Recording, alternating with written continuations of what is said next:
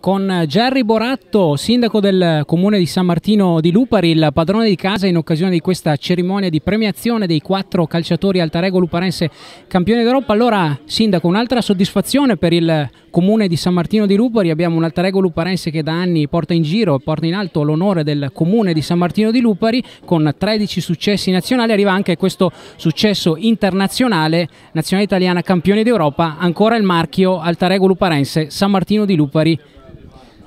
sì, salve, direi che oggi è una grande giornata di sport dove soprattutto festeggiamo i quattro moschettieri che sono riusciti a espugnare insieme agli altri amici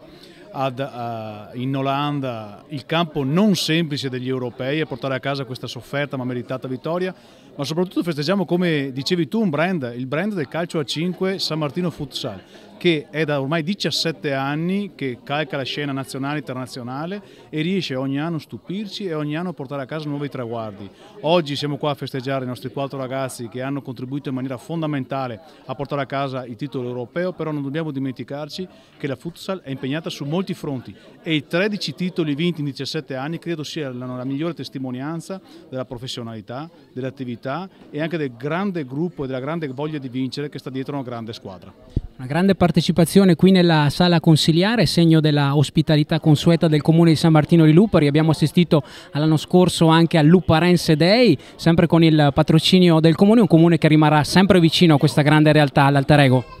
Il comune è vicino all'Alter Ego e a tutte le attività sportive qua a San Martino. Abbiamo delle realtà che sono veramente importanti e magnifiche. San Martino si conferma città di sport, è una città vocata per lo sport a tutti i livelli. Non dobbiamo dimenticarci, l'anno scorso abbiamo avuto una tappa del Giro d'Italia di Handy Bike, abbiamo le Lupe Basket che sono in A1 e tutto è coronato dalle grandissime vittorie che anche il futsal luparense ci porta ormai e ci abitua ad avere annualmente qua a San Martino. Quindi, come ho detto prima il Presidente Zarattini, la sala consigliare è sempre a disposizione per festeggiare queste vittorie, quindi ben vengano e ne vengano ancora molte e soprattutto eh, con lo spirito di condivisione, di collaborazione ed anche dei risultati stupendi che riusciamo a portare qua a San Martino. Non dobbiamo dimenticarci che è un grande, una grande soddisfazione per i territori e per la nostra comunità che quando va fuori dalla regione Veneto, va fuori dall'Italia, va fuori dall'Europa, come è capitato anche a me, viene identificata la comunità di San Martino soprattutto con il futsal luparense. Quindi grande brand e grande soddisfazione per l'amministrazione e per tutte le persone che vogliono bene e sono vicine allo sport.